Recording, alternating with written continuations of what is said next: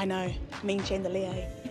Look, I'm going to admit this to you right now. I am buzzing out because I'm in a beautiful hotel and I am about to meet beautiful, amazing singer Jessica Mauboy, who you may know with the song with Flo Rida. She's going to be opening for him. And um, look, I'm just buzzing out.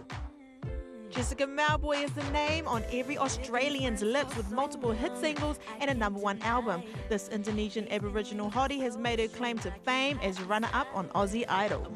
All right, so you took your first step into into this industry through um, an Australian Idol in 2006. What sort of things have you gained?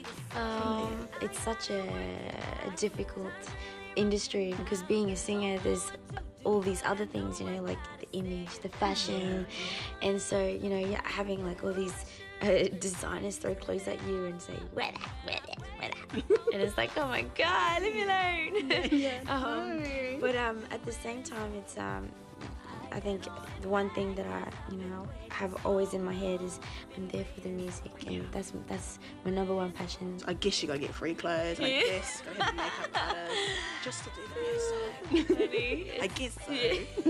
So there's free clothes, makeup artists, and I mean, you just gotta say this. Hey, um, I'm on tour with Flo Rida. Yes. You know what I mean? Put that on your Twitter. Hey, I'm on tour with Flo Rida. yes. Beat that. I've met him a couple of times now, and especially on tour. And uh, I can't wait. Um, you know, we're doing a, a gig tomorrow night, and it's gonna be fun. Hey, we just got a little piece, little quick piece here. Finish it up as I'm um called my random questions. Ooh, random I just love doing this. So, on your toes. When not recording or on tour or doing interviews, you like to Um, I like to swim. you like to swim. I love water. Okay, your shampoo and conditioner are you're using at the moment. I am using herbal essence. Oh, I love that. Yeah, it's it's the pink one. All right, are you most scared of spiders or snakes? Um, I would say spiders. I like snakes, Yeah. but I love crocodiles. Okay. You're on your own with that one.